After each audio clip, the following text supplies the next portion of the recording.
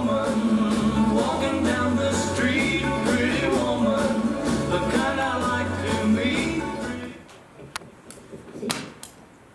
にちは、熊本恵美です。えっと、京都から来ました。ちょうど1ヶ月前に13歳になりました。はい、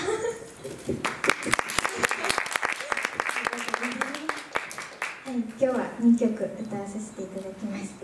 えっと、2曲目がちょっと K-POP 踊ったりするので、ちょっとこいつがおるんですけど、あの、こいつあの、1曲目はちょっとバラードな感じのすごくかっこいい曲を選曲させていただきました。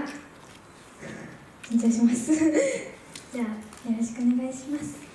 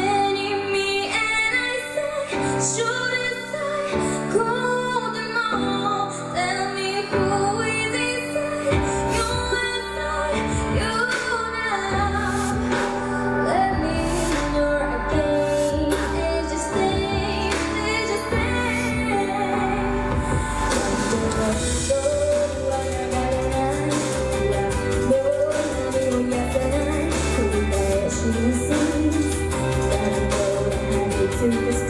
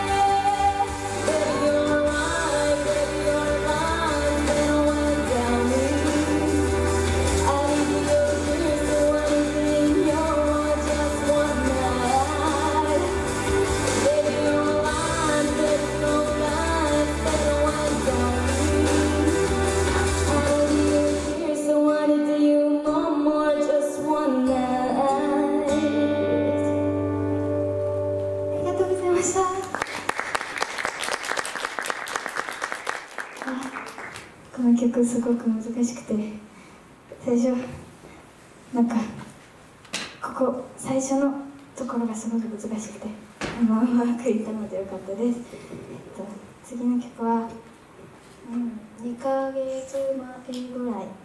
2ヶ月から1ヶ月前くらいにデビューしたグループなんですけど知ってるかな？知ってないかな？なんかあ大丈夫。だ えっとあのアイズワンっていう12人のグループからでから2人が移ってデビューしたグループなんですけど最初はまあ私 TikTok やってるんですけどぜひ見に来てください。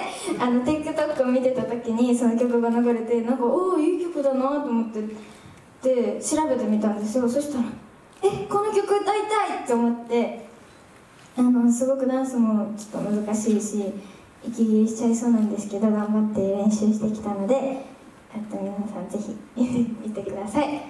お茶飲みます